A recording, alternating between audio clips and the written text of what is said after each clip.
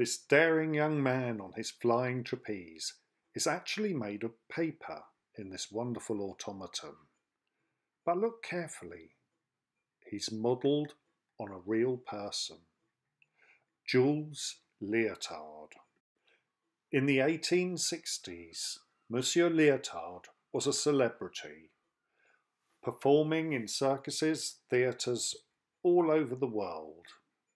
He was known as a daring young man for his terrifying feats high up on the flying trapeze, and also for the tight fitting outfit that he wore, which took his name, ever after known as the leotard.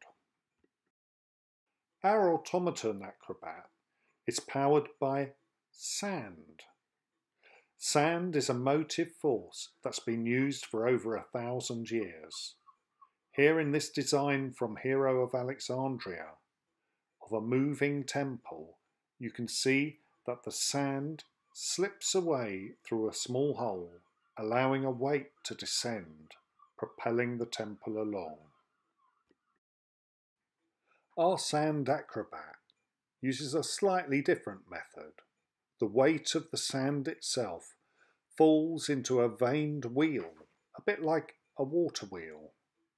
Here our sand wheel is filled up and spins to the right or the left in a seemingly random manner. The sand falls from a hopper with one open side.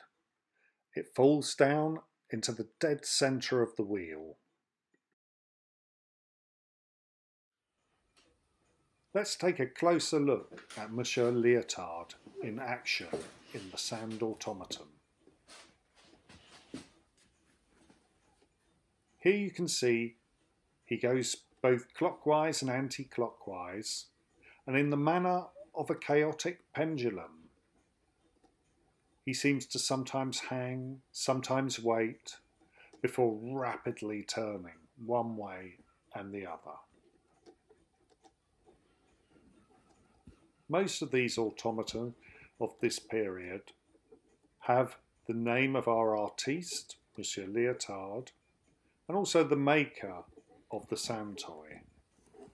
I think they were mostly made by outworkers because they're incredibly crude, probably supplied as a kit of parts to be assembled on a piece rate.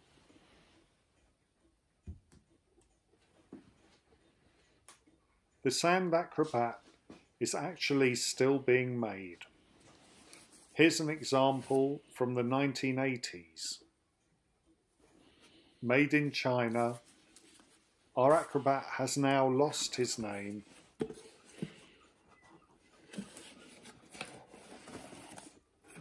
still wound by turning the sand automaton towards the right, placing all the sand into the hopper inside. You'll notice that this modern version performs with much less agility than our 19th century Monsieur Liotard. All the same ingredients appear to be there in the mechanism.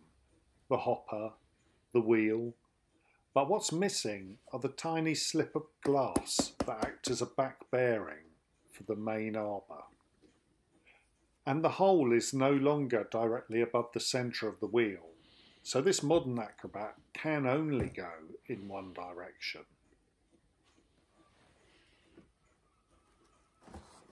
Sand automata were made in the 19th century of many different subjects, and we have here a smaller sand automaton of a drummer.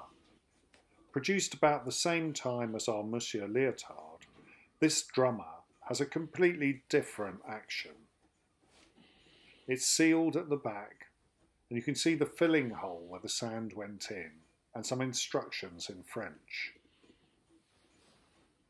We rotate the box to cause the sand to run into the hopper where it will trickle down through a hole onto a wheel. But this time pins on the wheel act to lift and drop tiny pieces of pivoted wire the other end of which are attached to the drummer's hands. so the drumsticks beat a little tune, and as the wire falls off the wheels, the pins on the wheel, makes a little drumming sound, which is quite nice. We've repaired many of these sand automata. This one came with a single badly drawn and painted leg. Obviously, he needed a pair of replacements, and there you can see the replacements in the background just prior to fitting.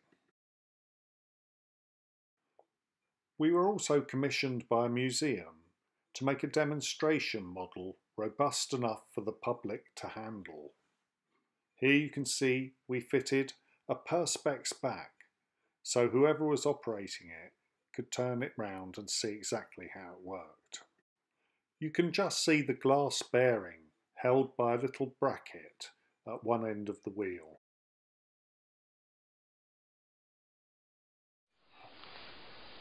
To wind him up, of course you turn him over until all the sand has fallen into the hopper. Placing it upright, off he goes.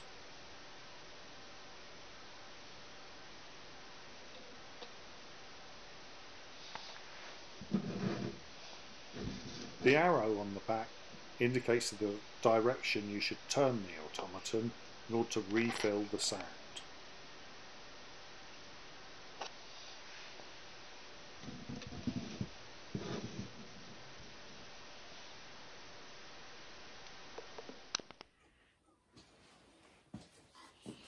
Now here's a sand toy that's really quite special.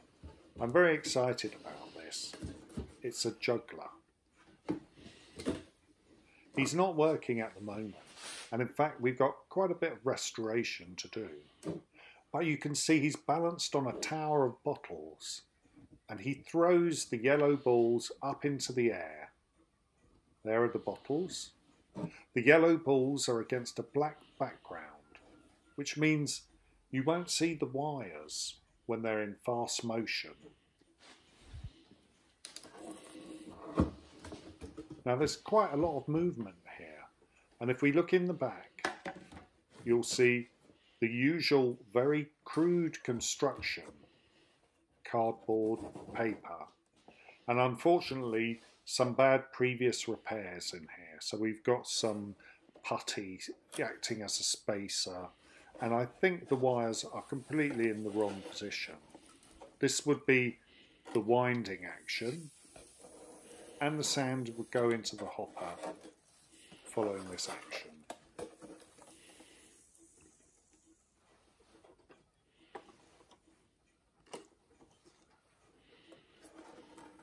Now I'm going to try and remove the wheel. It's a vaned wheel and when I remove the wheel you should be able to see the levers and the offset cam that pushes the levers up and down behind. A little bit tricky to get out.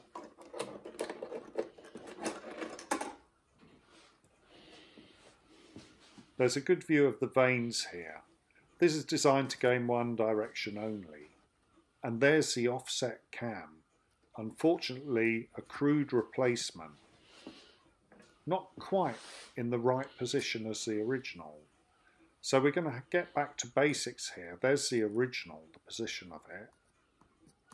And the new one doesn't go as far and is in the wrong place. You can also see the putty spacer on the other side. This will have to be replaced as well.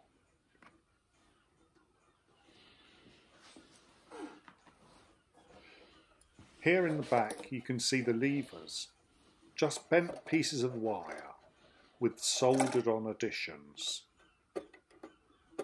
Here are two arms for the balls. There are two balls affixed to each of those two wires and to me these look like replacements as well, which is a bit worrying for the restoration. If I can get this restoration done correctly, it will be magnificent a magical piece. When refilling with sand, it's important to make sure you have fine, dry, clear, clean sand. And here I am sieving it because inevitably small pieces of paper go into the sand. and you can see the debris there that would clog the hole in the hopper.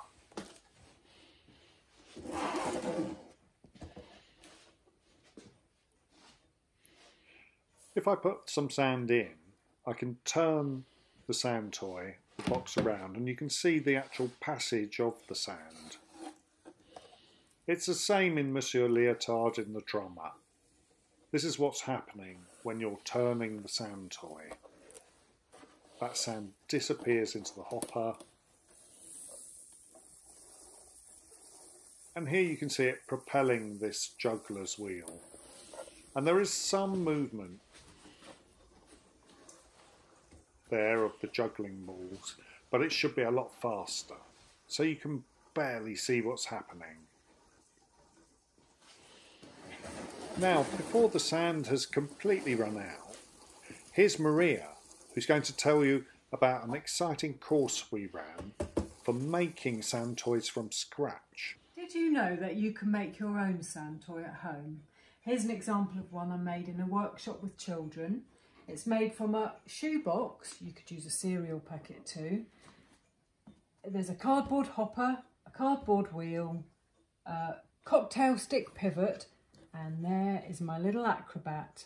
And this is how it works. It's sealed up with sand inside. You put the sand in the hopper.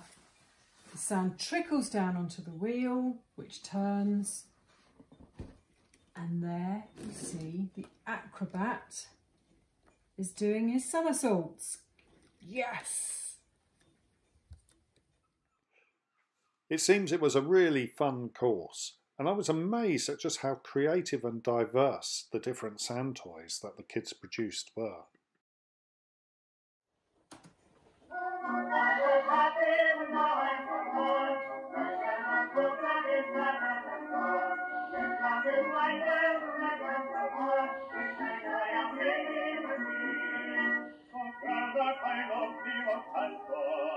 I all I knew Und ein Konrad, die grauen Vorfahren, Quelle, Mann.